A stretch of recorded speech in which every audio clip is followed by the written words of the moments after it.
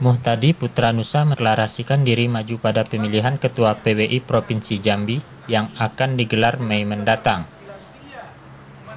Muhtadi yang juga pimpinan Jambi TV ini sengaja memilih tanggal 9 Februari sebagai hari kedeklarasi karena bersamaan dengan Hari Pers Nasional yang digelar di Ambon, Maluku. Muhtadi optimis dirinya akan dipilih sebagai Ketua PWI Provinsi Jambi untuk periode 2017-2022.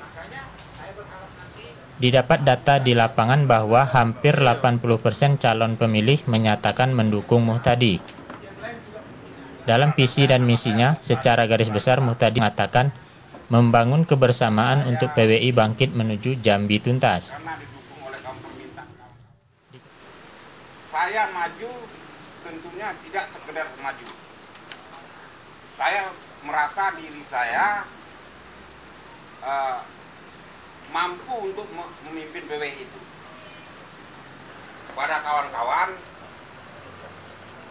kalau saya saya itu di, dipercaya di kemudian hari, mungkin kita kan enak seperti ini nih, kompak seperti ini, nggak ada antara satu sama lain.